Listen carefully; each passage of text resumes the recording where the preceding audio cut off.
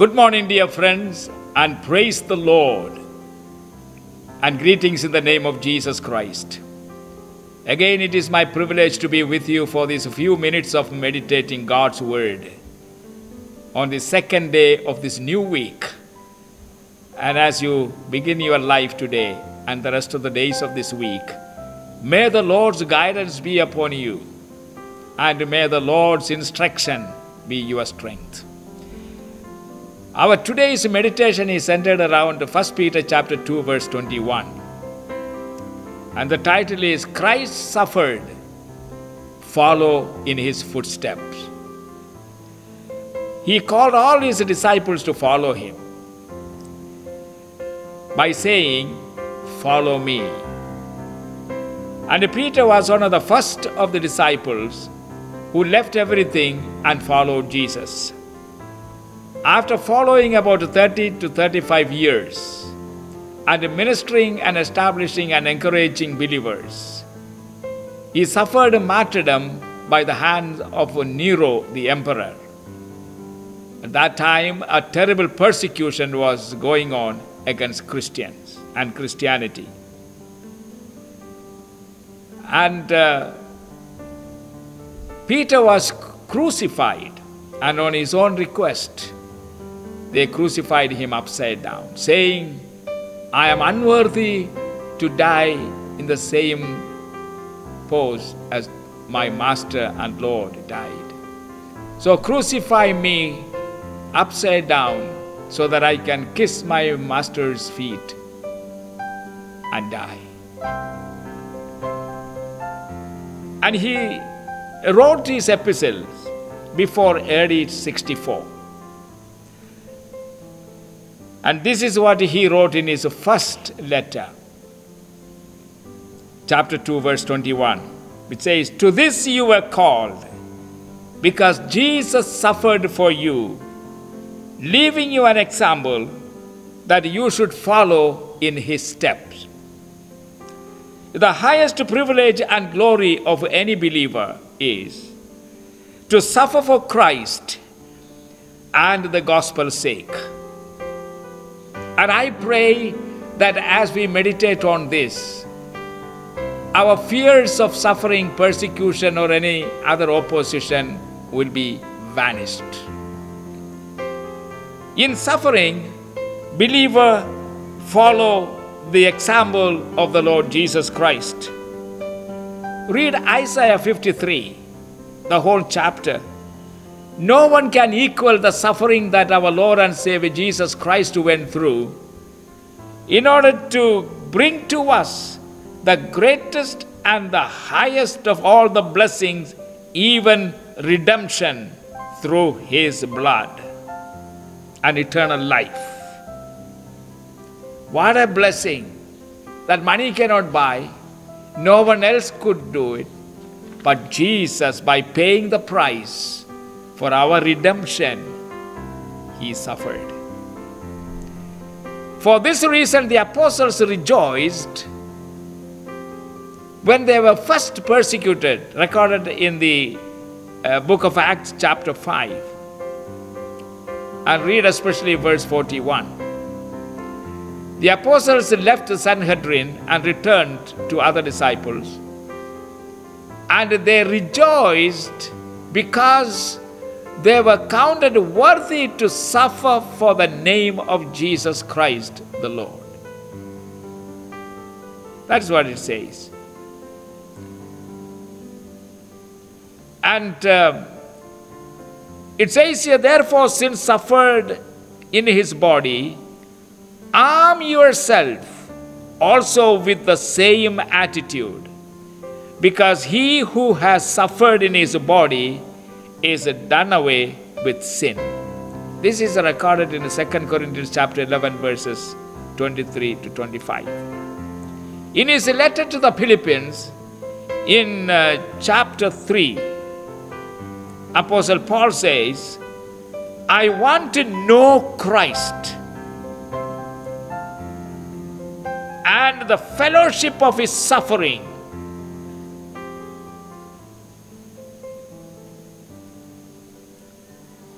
to attain this, he considered everything that was a gain to the Apostle Paul as rubbish and thrown them away. Consider them as loss for the sake of Christ. Are you willing to suffer for Christ and for the gospel's sake? Read also after this meditation 2 Corinthians chapter 4 verses 16 to 18.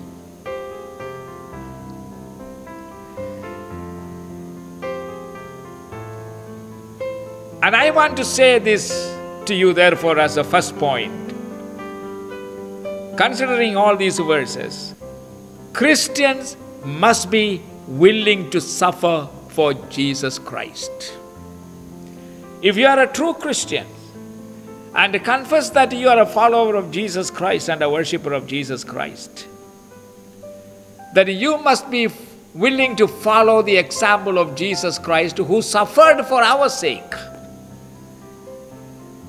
He didn't have to suffer it for himself.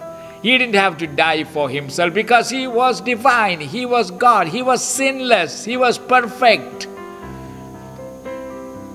But this perfect and sinless divine person from heaven took upon himself a human body and lived in that body about 33 and a half years and then gave that body to be broken and the blood to be shed and in doing so, the suffering he went through is beyond description.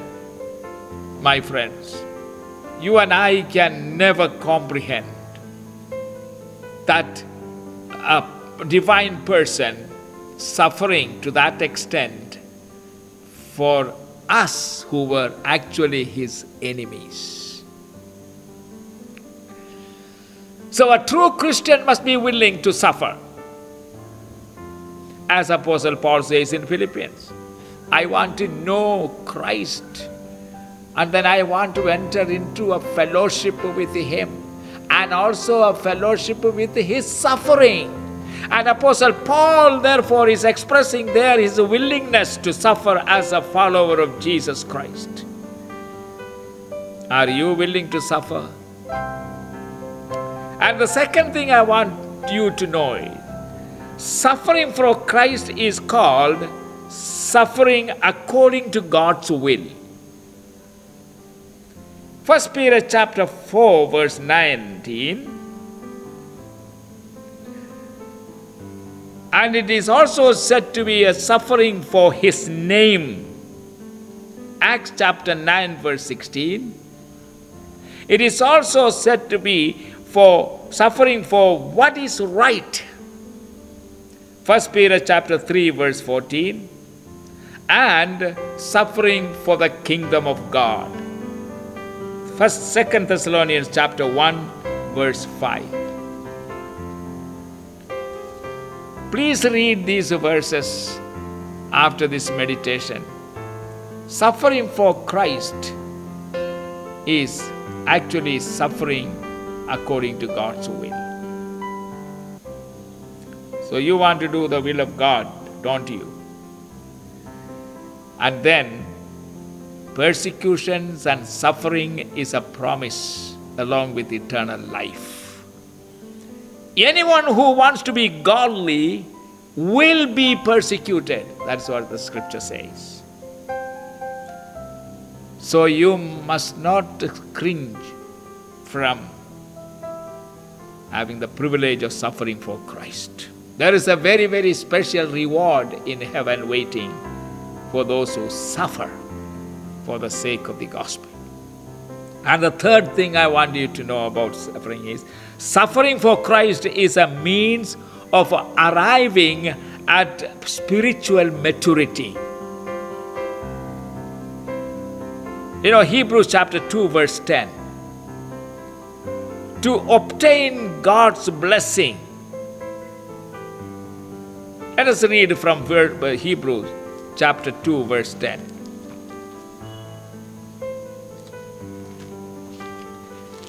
Chapter 2, verse 10 of Hebrew.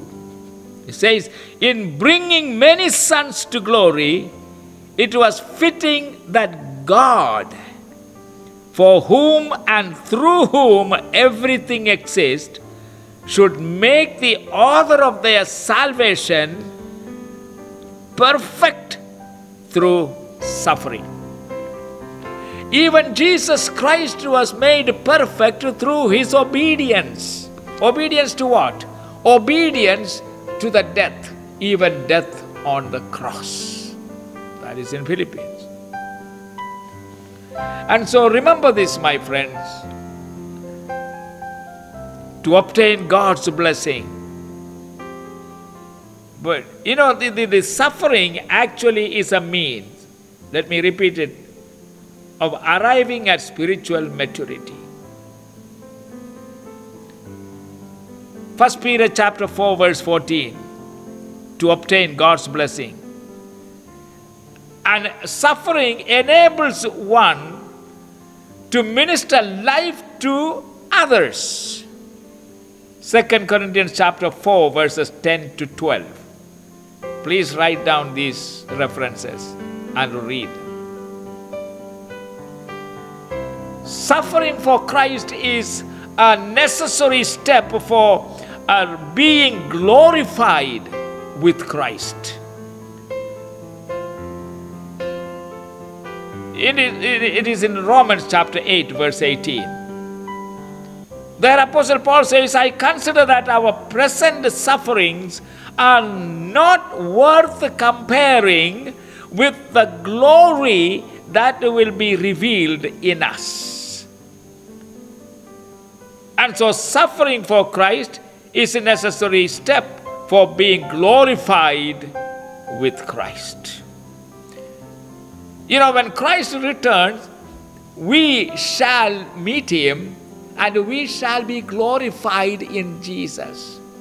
So, whenever suffering comes, instead of looking at the suffering, the one way of uh, uh, being strengthened is immediately remember the glory that is waiting for you. In this sense, it can be uh, regarded as a precious gift from God. Hallelujah. Philippians chapter 1, verse 29. Let us look into that passage. Philippians chapter 1, verse 29 says, for it has been granted to you on behalf of Christ not only to believe on Him, please take note of it, not only to believe on Him, but also to suffer for Him. That is, it is granted to you, it is given to you the privilege of uh, not only believe in Him, but also to suffer for Christ.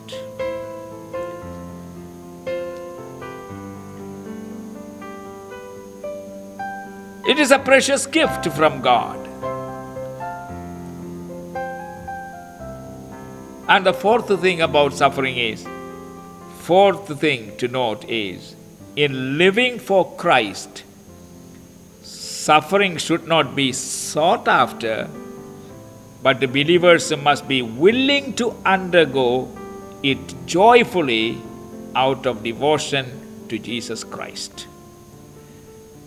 Nobody sought, nobody must seek after suffering. You purposely go and cause suffering uh, by doing foolish things. That is not what it means.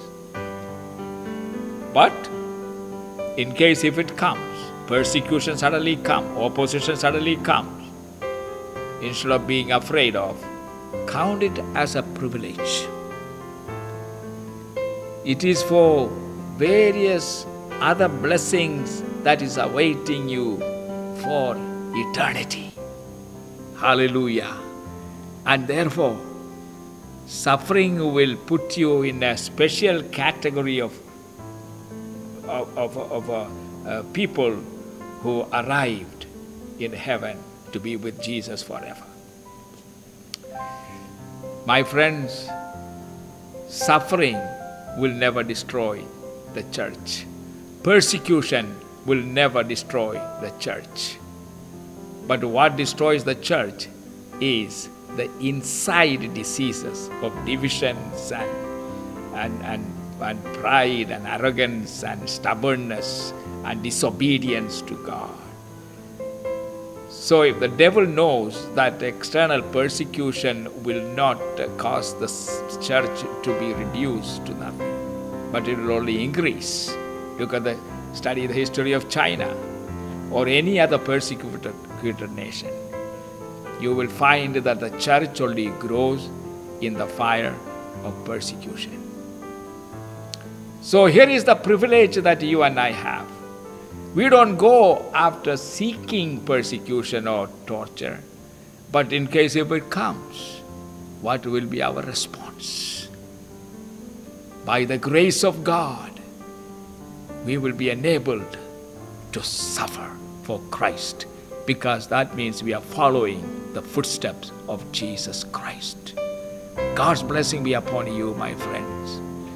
God is with you today and offer yourself to God as a living sacrifice to God. May the Lord bless you and keep you today. This is a wonderful day. Go ahead and live it and have a good day. Father, I thank you for the listeners of this short meditation. Grant to us your grace, O Lord, and your presence. That is all we ask enabling us to suffer for you. Thank you for hearing us. In Jesus' name, Amen.